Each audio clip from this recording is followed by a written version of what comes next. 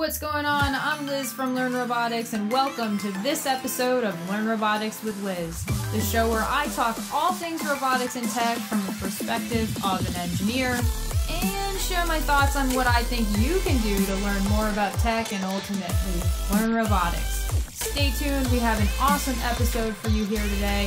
If you're watching on YouTube, consider subscribing to my channel or subscribing to the show on whatever podcast platform you're listening. Ready? Let's get to it. All right, and we are back with another episode of Learn Robotics with Liz. I'm Liz from Learn Robotics, finally joining you guys on video. Hopefully, you like this version of the podcast a little bit better.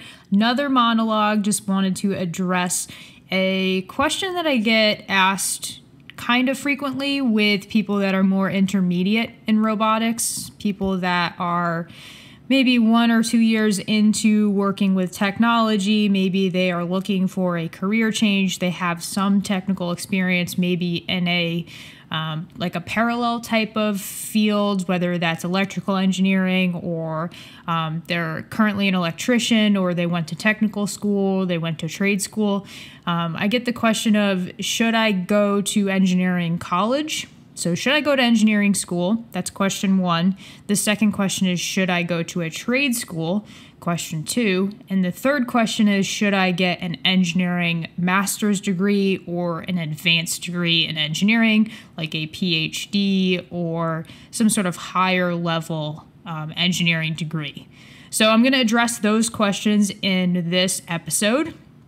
If you are looking for career advice or you're interested in learning more about my thoughts from an engineering standpoint, for where I think you would need these types of credentials, you're definitely going to want to listen to today's episode. Um, I'm going to speak from my personal experience, some of the things that I wish I had known going into engineering, going to engineering school, and some of the things that I maybe didn't realize once I got into industry, working as an engineer in manufacturing and automation engineering, that would have been helpful had I had known that prior to going to engineering school. So, all of that and more in today's episode. First things first, if you do like the show, be sure to subscribe so that you get notified for when new episodes like this one comes out. And if you find this information helpful or valuable, please share this with a friend. I'm trying to grow the Learn Robotics with Liz podcast.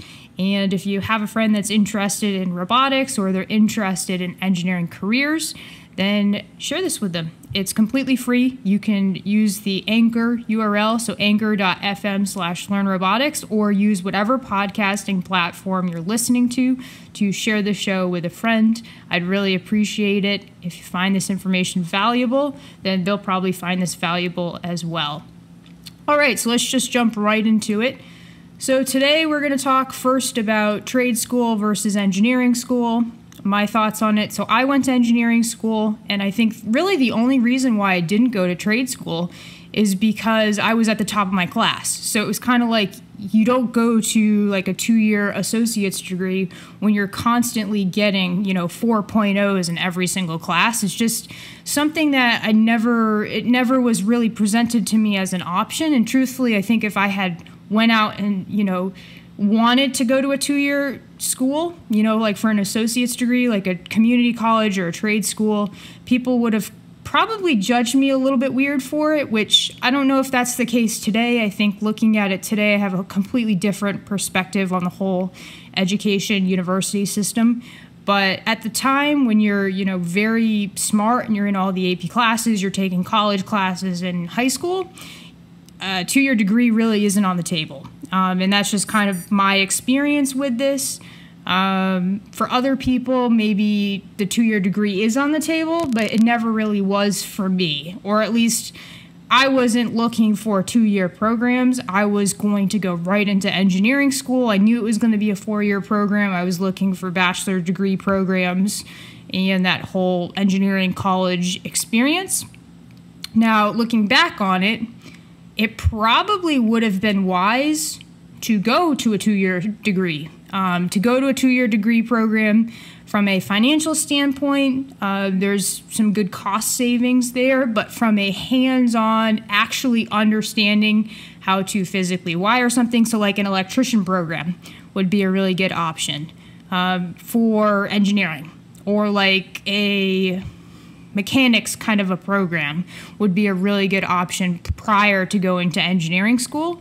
And I say this because they get a lot of real world experience and you get the sh- the job shadowing you get to work as an apprentice you get to build up a lot of hands-on hours working with people working in the industry gaining those hands-on technical skills that you just do not get in engineering school. Like yes we have lab activities yes we go and we build different things but it's more of a research academic environment at a four-year uh, degree program versus an actual hands-on technical like i know how to use you know this device which this is a tape measure everybody should know how to use this. But anyways you're getting more hands-on information you're getting more hands-on exposure and experience working in a pro- like more professional environment in a two-year program than in a, like an engineering school where you're being more exposed to research you're getting more face time with professors you're getting more you know, research oriented funding. So if you're interested more in being hands on and good at like working with something, you know, like working with tools and building things and solving problems in that way, then a two year program is going to give you a lot more experience than a four year degree will. Uh, contrary to that, though, if you are looking to get more into the research, the innovation, the what I'd consider like the sophisticated robotics, where you get like more of the artificial intelligence, more of the machine learning, more of like those breakthroughs in robotics. You're not going to see that in a two year degree program. you will need to get into a four year degree program and then go way beyond. Um, so, if your goal is to end up in robotics working on cutting edge research, then you're going to need to start in a four year degree program. Or if you don't start in a four year degree program, you're going to need to find yourself in a four year degree program at some point in time. So, you could do your two year degree, you could get some industry experience, you could um, you know, go down that route, get really good at what you do, and then maybe you work at a company that allows you to go back and get a, a four year degree somewhere. And then once you have that degree and you want to make that switch into more of like that research oriented robotics, then you could you could look for PhD programs, you could look for master's programs that have more of those like core research areas and that will help you kind of get into those labs and have those experiences. Second point, um, should I get a master's PhD in robotics? Same kind of answer as before. It really depends on what you're trying to do. If you're trying to do cutting edge research, then yeah, you're going to need, you know, to find one of those programs because unless you work for a startup and you have some you somehow have acquired skills that they want, um, you're not really going to get exposed to some of the cutting edge lab equipment, the cutting edge grants, some of that stuff unless you have connections with some you know major research facility you know at a top school. Not to say that some of the smaller schools don't have top research but um, from a very high level like if you want to be involved in some like if you want to be involved in like uh, drones and like quad rotors and things like that, you're not going to want to go to, you know, like ABC school up the street. You're going to want to go to a university that has you know, a lot of experience with that and bringing uh, grants in and doing a lot of research and, you know, being at the forefront of that technology. Um, so, I, what I would recommend doing is kind of researching what area in robotics you want to end up in, find the people that run really good labs, and then see what they have in terms of degrees. A lot of times, if you have a bachelor's degree and you are you're super into being, you know, in the cutting edge area of robotics, You'd apply into a PhD program and then you'd pick up a master's along the way. You wouldn't necessarily apply into a master's program unless you had no intentions of going beyond that. But if your end goal is to get a PhD, then you just apply directly into the PhD program and then you just, over time, over your next like I don't know, six years in school, you would somehow acquire that master's degree, which would eventually lead to you getting your PhD. So those that's kind of like a very high level roadmap of how you could go about doing it. Now, if you have zero intents of working in a lab or being like a senior fellow of you know robotics, whatever, um, then you you probably don't need the master's degree. You probably don't need the PhD. Um, you may want the master's degree, but my recommendation is. Uh, for most people, a four year engineering degree is going to do a lot of good once you get that four year engineering degree, if it's in robotics or if it's in a related field, then you can go get some work experience as an engineer. And if you somehow had a two year associate's degree before that, you're going to be way ahead of all of the engineers just because you understand kind of how you know a mechanic or an electrician works with an engineer in industry if you're looking at en- if you're looking at engineering jobs from a I guess, corporate standpoint, from a factory standpoint, um, you're going to have kind of a better understanding of how all of that lines up. But what I would recommend is getting that experience as an engineer. You know, you get your bachelor's degree, then you go get some, you know, corporate or, you know, factory style job as an engineer. And then hopefully the company you're working at has opportunities for school improvement or edu- continuing education or something like that. And if you wanted to get, you know, more degrees or more schooling or more credentials, you could just go back to school under whatever their program allows. And some of them allow uh, master's degrees. And so, master's degrees are kind of a nice way for you to be able to uh, really just kind of elevate your knowledge from one standpoint, but also you know, not necessarily have the financial risk of taking out the loans and going back to school. And two, when you finish that program, a lot of times the organizations will um, reward you by either promoting you or, you know, moving you up, um, either from a salary standpoint or from a job title standpoint. So it's a great way to kind of keep your career progressing um, in a way that you know you put in the work uh, through the through the degree you put in the time you did the, the projects you went back um, now you have a master's degree so now you have more credentials. So now you are you should know more therefore you should be more valuable. So instead of you you know spending let's say the next decade in the same role you could go back get a master's degree and that could significantly shorten the amount of time it takes for you to get that promotion to the next level. And that would be kind of my only recommendation for using schooling to help you significantly grow and move your trajectory of where you're going to end up in your career. So, just as a quick recap, uh, really the main goal is to one, figure out where you want to end up. So, if your goal is to be in research, then you're probably going to need a PhD. You're going to need to figure out a way to at least get a bachelor's degree and then find whatever PhD program you want to get into, whoever's lab or whichever area. Um, you know, reach out to that person that runs that lab that manages that particular program and try to get in with them pretty early. And then once you get into that PhD program, then you can pick up your master's along the way, and then you'll be pretty much good to go for that particular route.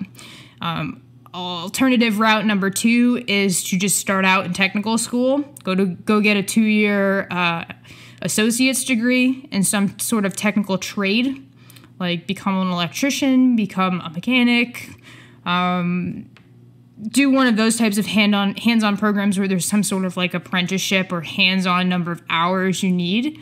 And then once you get some experience you do some work for a company go back to school you could pick up a bachelor's degree and then go from there. You can choose kind of whichever direction you want to move in. I think that's a really great option. You'll learn a, a lot of information, definitely a lot more information, and you'll have a lot more hands on hours than people that just go to engineering school.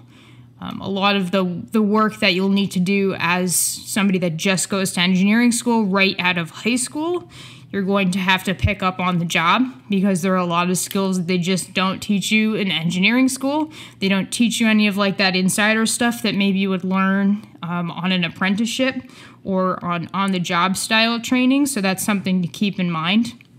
And then kind of the last option is to just jump right in, jump right into a four year degree program in engineering, and then kind of sort out what other what other competencies you need later and you know take some extra trainings. You can you can find a number of professional development courses and a lot of times the companies that you work for will compensate you or they'll pay directly for those types of courses because they want you to be fresh. They want you to have the the knowledge that you need to perform well. So those would be kind of the three the three ways of getting degrees and how I would tackle those scenarios um, you can always, you know, build kind of your own path. It's kind of nice to go back from where you want to end up at the very end to where you are currently and then figure out kind of what the next logical step might be. From my experience, um, you, you don't need to go to school. Like, you definitely don't need to go get a PhD if you just want to work as an engineer in a factory or you just want to work as an engineer at a startup. You don't need that much schooling. You'd only really want to do that is if one, you really like schooling and you really like research, um, or two, you want to be part of some particular project that they're researching at a very sophisticated lab, which is very valid. A lot of people like that. Um, or three, you just don't feel like going to work. I, I don't really know. I think it's one of those things where um, a lot of a lot of times personal preference would come into the picture, but you don't need as much schooling as you might think you need to get into engineering. It's really just the four year degree is kind of like that center mark. And anything before that is going to get you kind of more technical skills, more hands on knowledge and experience. And anything after that is going to get you more um, what I'd consider sophisticated, like, uh, I don't know, more thought provoking, theoretical kind of robotics, which, which is great if you plan on going into research. So that's my recommendation from there. If you have any questions about this episode, feel free to leave a comment or submit your questions via audio using the Anchor FM message feature. You can go to anchor.fm slash learn robotics and leave me a message, and you just might be featured on an upcoming episode of Learn Robotics with Liz. If you did like this episode, please let me know what you think in the comments below. Be sure to subscribe and share this with a friend. Thanks so much for watching, and I'll see you next time.